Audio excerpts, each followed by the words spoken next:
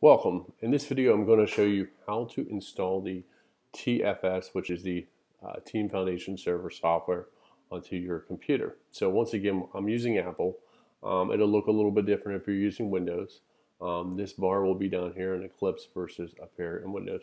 So the first thing I'm going to do is I'm going to have a URL. So I've already have a URL that is out on your, um, if you're taking my class, um, it's in course documents, TFS download URL. If you're just watching this via YouTube, um, I'll post you, uh, the, the uh, uh, URL in here. So the first thing you're going to do is you're going to click on help. You're going to come down to install new software and then you're going to click add. You're going to just add anything up here. It doesn't matter what it's called. I'll just say TFS install. And then I'm going to paste the URL right here. So this is the location where the software is at. So I'm gonna hit OK. It's pending. I'm gonna choose Team Found Team Explorer everywhere. Click Next. Oops. Um, everything's here. I'm gonna hit Next again. I'm gonna accept this. I'm gonna click Finish. Now this will take a few seconds, maybe 30 seconds at best. What will happen is after it downloads it, it'll restart Eclipse. And then, our, then we know our software is installed at that point.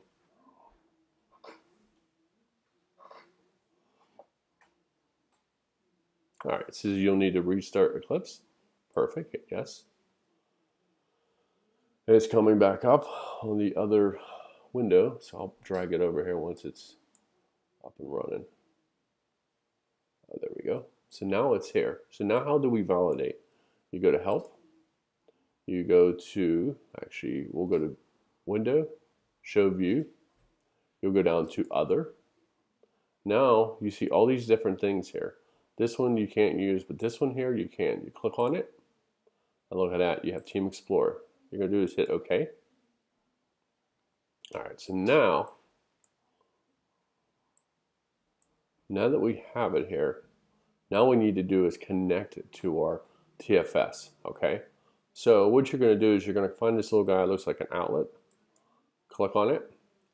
Now you have two options here. You have Browse Visual Studio Team Services or connect to TFS service account. So what are the differences? This one right here is going to one that we're going to be using because if you're taking my class, we're using uh, Visual Studios Online, which is a cloud-based system.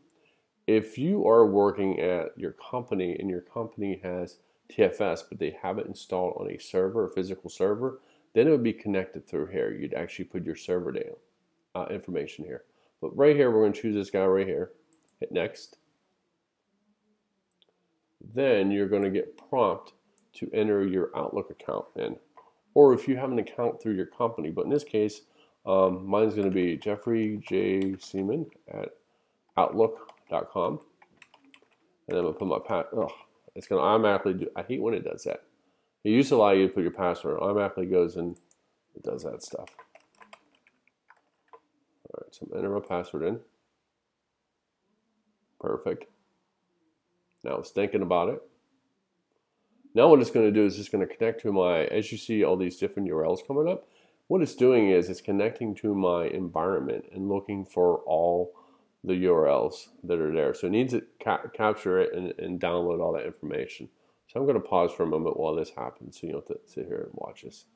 All right, so I'm back. So now it download all the information. So this is basically all my accounts I have access to. These are all the different Google classes. Now some of them look duplicated, whatever the case is.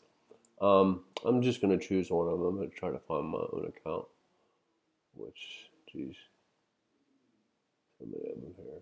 Um, geez, wow. Um, geez, so many of them here. Well, which one is mine?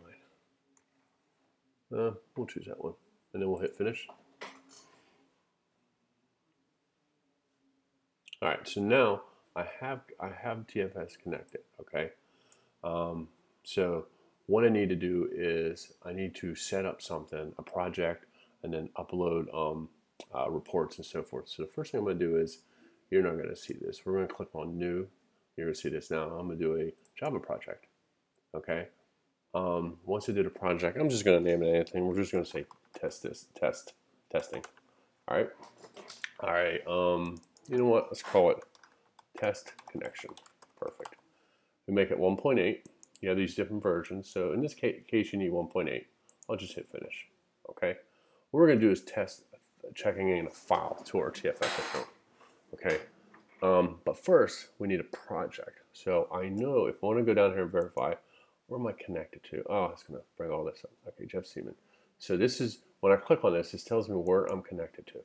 So I'm going to bring that up through, um, let me bring it over here. So if I drag this guy over here, let me pull the window real quick. so I'm going to pull this over here.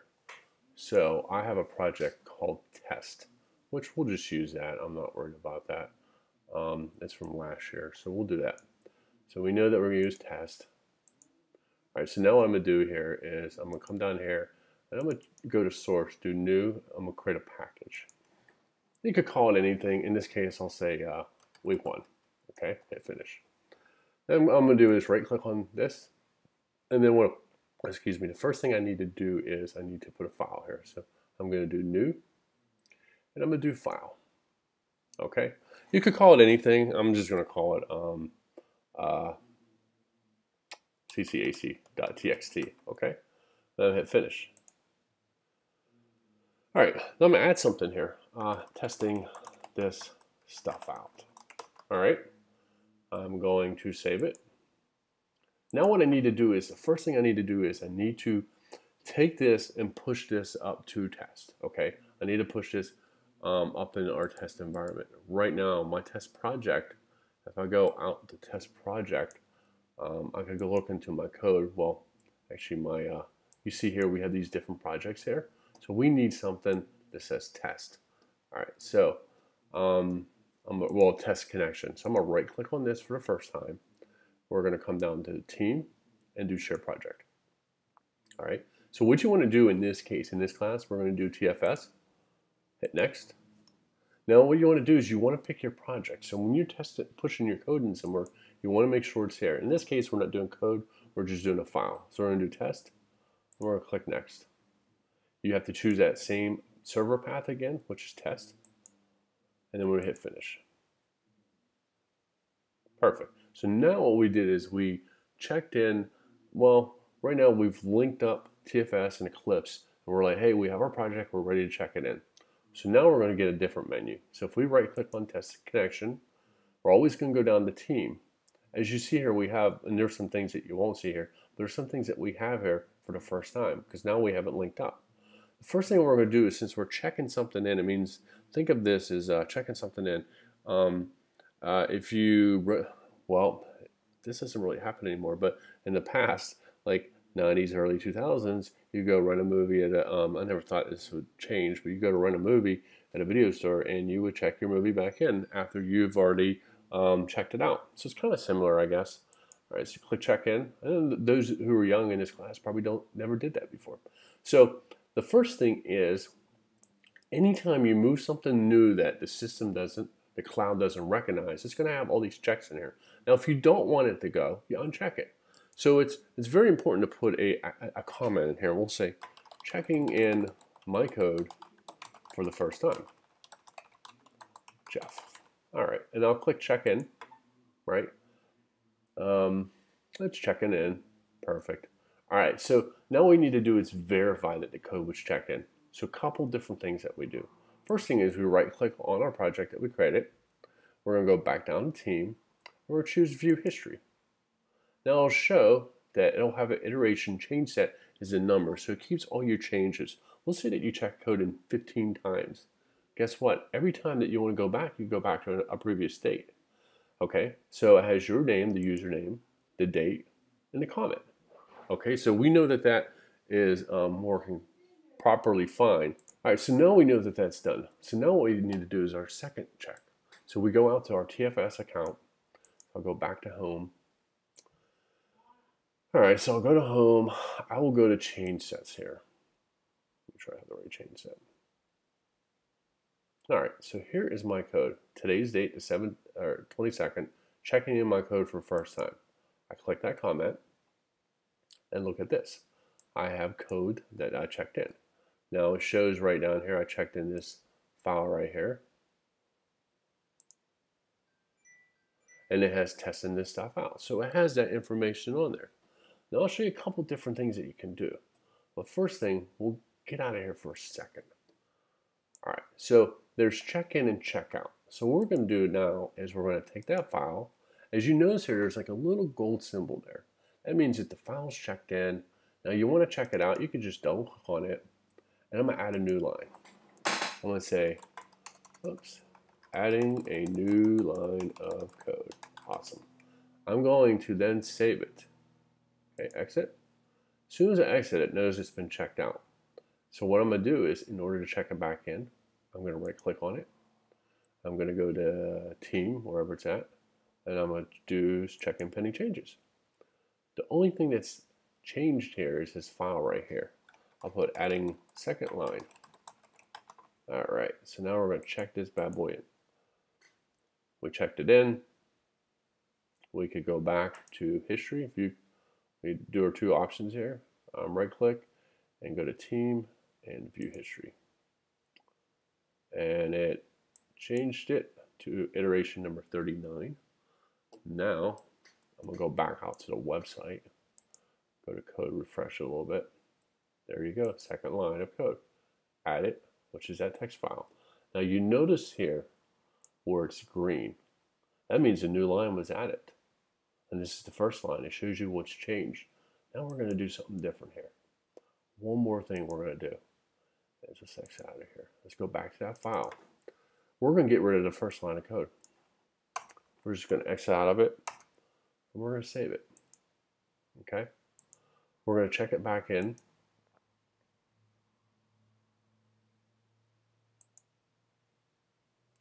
Um, remove the first line of code.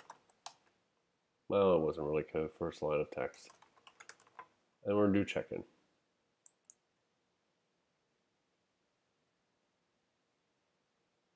All right, once again, we can right click, view history, wherever my history's at. Where you at, buddy? View history. Should be number 40. Boom, there it is. Now, here's interesting. I want you to see what it looks like. And we go back out the test. We go to our change set. We go remove first line of text. And look at this. It has a red line here. It shows that this stuff is out. So it's like, what's different? Now, it has a side-by-side -side going here. So if you look at the side-by-side, -side, once I move this over, this is what it used to look like. This is what it looks like now. So this is just a, a, demonstration. We'll get really into a lot of this stuff um, later on once we get into this. Um, you could add information, but we'll talk about that down the line. But right now, it's important that you're able to link up TFS, you're able to check in a file, check it out, because this class will consist of this moving forward. So hopefully this video was a, a good uh, basic introduction. If you have any questions, please shoot me a message. Have a good day. Thanks for listening.